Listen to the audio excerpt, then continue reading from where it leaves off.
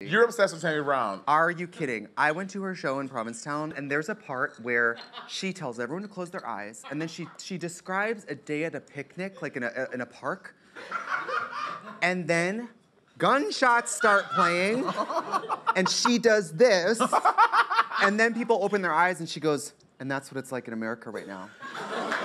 And then she goes, hit it, and another song plays.